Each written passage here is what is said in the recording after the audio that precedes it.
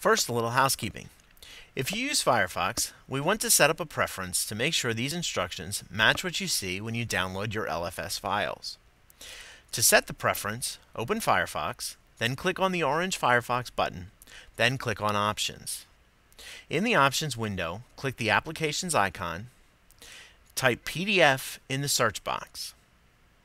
On the Portable Document Format PDF line, change the action to be Use Adobe Acrobat in Firefox and click OK. This will make Firefox use Adobe Reader to show PDF files, which may look slightly different than what you had previously. We're going to take a look at the new T drive, which is where you will save your LFS units. If you click the Start button, then click Computer, you should have an LFS Toolbox T drive listed. If you don't have the LFS Toolbox drive, please contact the Technology Department. The folders in this drive have been created so all teachers and admins can read the contents. However, not everyone can edit all the contents. Teachers can only change subject areas they teach. For example, the first grade teachers can only change content in the first grade folder, and a high school math teacher can only change content in the high school's math folder. If you double click to open the T drive, you will see folders for each school. When you open your school's folder, you will see pre-created folders for various grades and subjects. For the grade level teachers, you'll need to open your grades folder to see the pre-created subject area folders. Inside each pre-created subject folder, you can create your own subfolders by course or unit. You should have a grade level or department discussion on how your team plans to organize your subfolders. Once your team has planned out your course folder structure, we recommend you pre-create the necessary subfolders. Later, you will create individual unit folders in each of these course subfolders. For example, inside the High School Science folder, we've created a College Prep Physics folder and have the units in subfolders. Inside the unit folders, we can see the unit lesson plans and related attachments. If you need help with the folder structure, please contact Mr. Hewitt at extension 1013 or by email.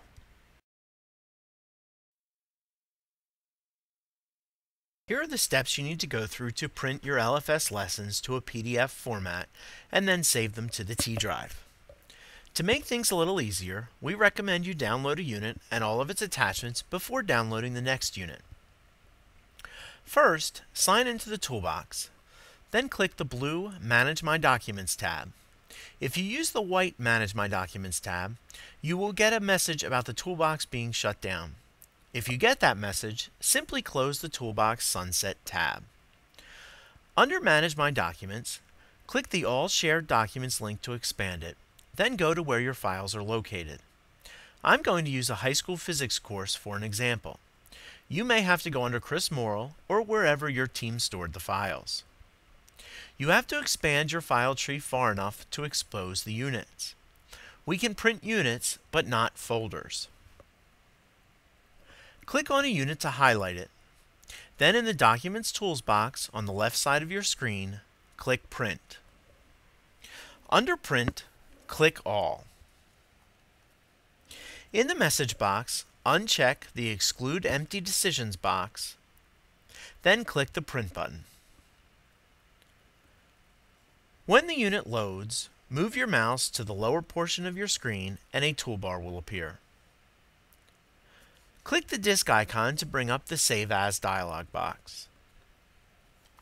If the Save As box doesn't default to your Downloads folder, you'll need to get there by finding the Downloads link on the left side of the window, it will be near the top of the list, and click it. Click on the file name and type a name for your unit consistent with the way your team has discussed. Press Enter or click the Save button. You can now close the Units tab on the top of the screen, but do not close out of your web browser.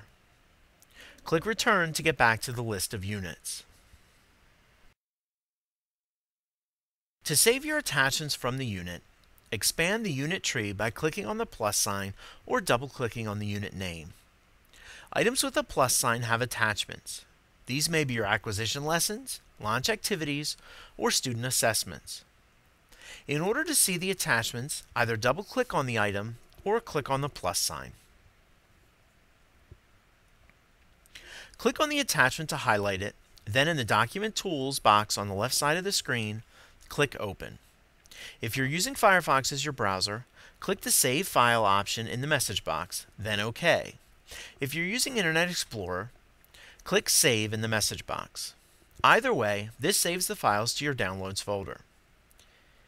If the attachment is a PDF, it will open and you need to save it the same way you did your unit. To do that, click on the disk icon, then in the Save As box, make sure you're in your Downloads folder, rename the file if you want, and click Save. Repeat this process for each attachment within the unit.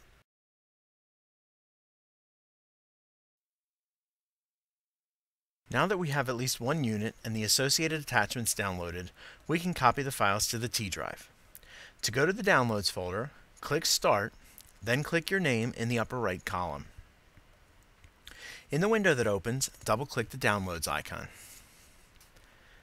To make sure each unit and its attachments are listed together, click the Date Modified header near the top of the window. This will arrange the files in the order they were downloaded as compared to the default, which is by name. For example, we downloaded two units and their attachments, and sorting them by date has grouped them together. This is why we recommended you download the unit and all its attachments at the same time. To open the T drive, click Start, then Computer. In the new window, double-click the T drive. Navigate to your school, subject or grade, and course folder. If you haven't created a course folder yet, create it now by clicking on the New Folder button at the top of the box. Open the course folder by double-clicking on it. Inside the course folder, create a unit folder by clicking on the New Folder button at the top. Type the unit name and press Enter.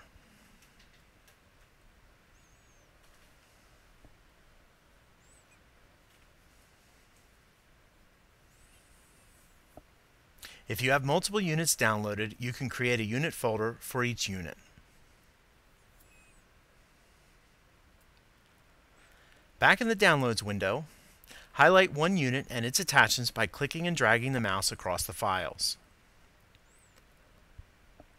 To copy the files to the T drive, left-click on one of the highlighted files, drag it over to the correct unit folder in the T drive, and drop them by releasing the button.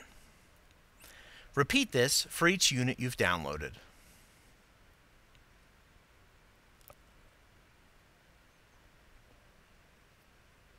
When all your unit files and attachments are transferred to the T drive, the process is complete. If you make changes to your files in the LFS Toolbox site after this, you will have to copy the files to the T drive again. Remember the Toolbox site will not be accessible after July 31st, so you must download all your content before then. Thanks for watching. We hope this video has helped you understand the process of saving your LFS documents from the toolbox.